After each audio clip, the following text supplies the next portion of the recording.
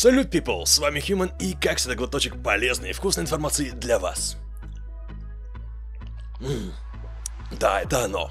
Сегодня мы с вами посмотрим, какую карточку стоит покупать, если мы будем основываться на ее производительности. Также посмотрим на бюджетку или затычку GTX 1630. Ну а потом мы с вами поглядим на работоспособность FSR 2.0 от AMD, как через Unreal Engine 5, так и, собственно, в Cyberpunk 2077. Так что, чего тянем? Го смотреть, я создал. Ну что, друзья, сегодня я вам предлагаю посмотреть, сколько же должны стоить видеокарточки, если мы будем брать одну характеристику, ее производительность. Ну, грубо говоря, если по меркам, скажем так, игровой индустрии, по FPS. Такая интересная идея родилась как раз таки у наших с вами IT-коллег из проекта 3D Center. И это, кстати, именно те ребятки, которые все это время, когда был пик майнинга и нереальные цены на видеокарточки, мониторили как раз таки их стоимость. Это, я уже не знаю, более чем год. В итоге сегодня мы с вами сравним фактические цены на рынке, в частности европейские, потому что там более-менее адекватно и объективно, и смотрим, какой ценой вообще должна быть видеокарточка по факту, если мы берем один параметр, именно ее производительность. А для этого будет применяться индекс 4К от 3D Center. Но, прежде чем мы с вами начнем, во-первых, стоит напомнить, что не просто карты снизились в цене, а снизились high-end карты, а на них drop цен, ну, был чуть ли не самый первый и весьма значительный. Более того, те карты, чей релиз состоялся в 2021 году, ну, цена их откровенно была завышена. То есть со старта RRC, что у Nvidia, что у AMD, ну, были не шибко приятны пользователю. Однако пришло время осознать истину. Их цены не соответствуют производительности. И вот, по подсчетам 3D Center, которые выбрали RTX 3070 в качестве точки отсчета, большинство топовых моделей Nvidia завышены и должны стоить намного дешевле. Тем не менее, уже модели среднего бюджетного уровня из линейки Nvidia, ну, можно считать недорогими. Особенно модель 3060 Ti, которая предлагает лучшую производительность, чем ее стоимость. Это, кстати, также является причиной того, что многие партнеры попросту не имели на складе 3060 Ti в течение многих месяцев. То есть такая ситуация, когда карта оказывается слишком мощной для своей цены, поэтому партнеры и могли продавать ее более дорогие версии GPU. Более того, ситуация на рынке видеокарточек изменилась сейчас настолько, что вроде бы как по слухам или может быть уже даже по подтвержденным данным, Nvidia перестала производить и поставлять видеокарточку RTX 3080 на 12 гигабайт. И тут логический вопрос, почему?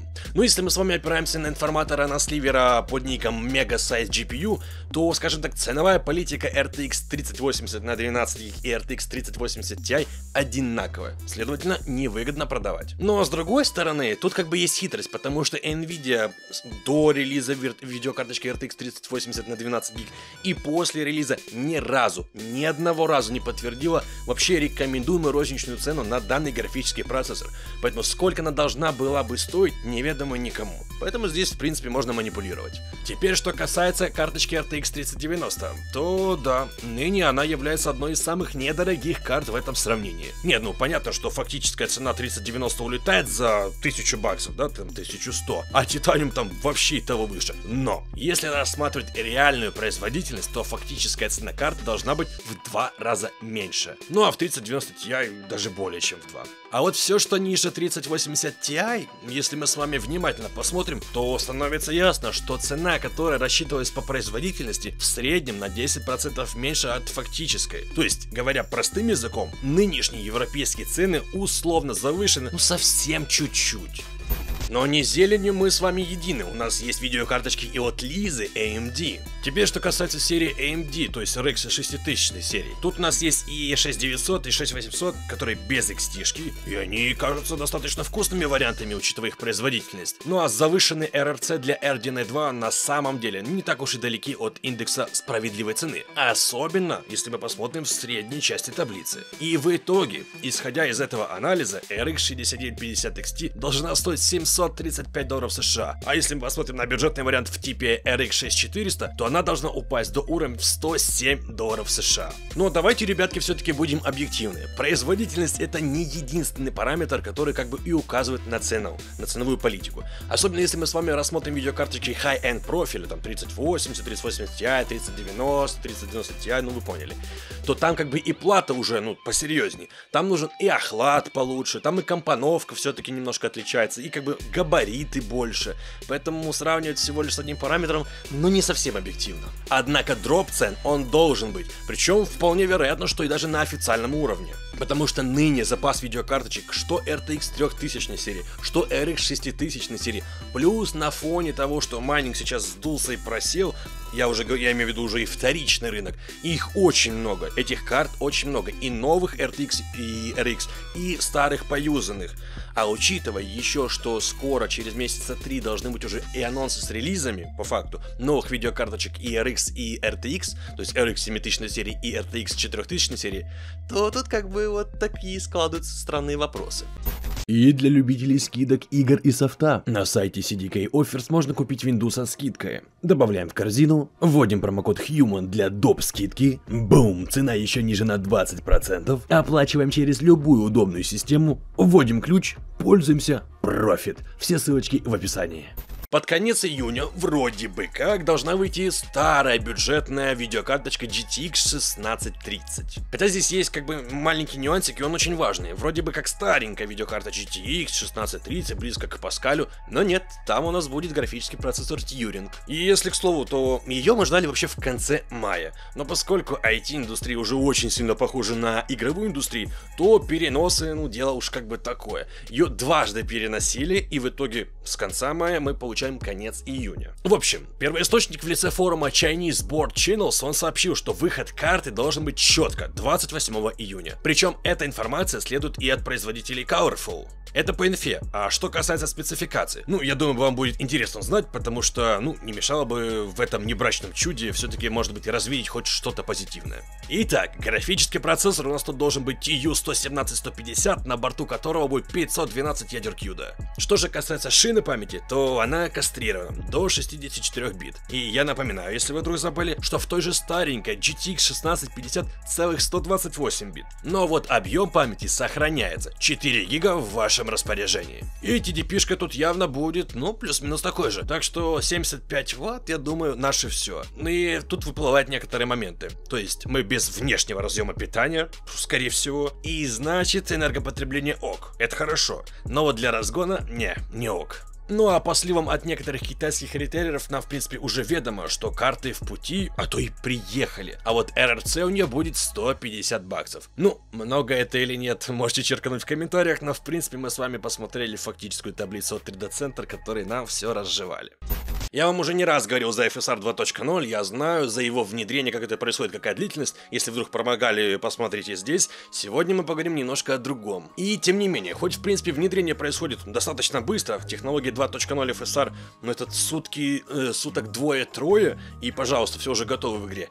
И все же некоторым геймерам хотелось бы, чтобы это происходило еще быстрее или во всяком случае больше игр сразу.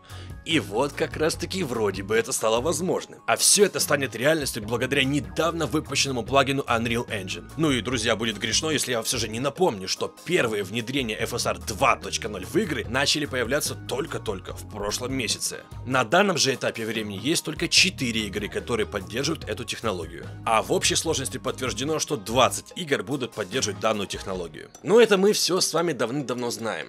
Однако AMD сейчас нам принесли новенькую, свеженькую и вкусненькую информацию. Для тех, кто не знал, то в середине июня была годовщина FSR 1.0. Да, та самая технология пространственного масштабирования. И вот эта годовщина была отмечена выпуском FSR 2.0. И, что самое крутое, с открытым исходным кодом. Так что все разработчики смогут бесплатно внедрить сию технологию во все свои игры и проекты. Ну а сама же FSR 2.0, она основана на современном масштабировании. А это означает, что внедрение FSR 2.0 будет не таким простым, как у его преемника. Но для игр, в которых уже есть векторы движения и другая поддержка временного масштабирования, ну, например, как у DLSS, то реализация занимает дни, а даже не недели не месяцы. Окей, ну а в итоге, как тут данная технология вяжется с самим движком Unreal Engine? А тут все просто. В Unreal Engine уже есть временное масштабирование, а это означает, что поддержка FSR 2.0 теперь может быть такой же простой, ну как добавление плагина плагина или его дальнейшей оптимизации для игры. В итоге, это, кстати, важный момент, временное сглаживание является требованием для работы плагина FSR 2.0, а плагин FSR 2.0 имеет встроенную функцию повышения резкости RCAS. А это значит, что в играх, в которых уже реализован AMD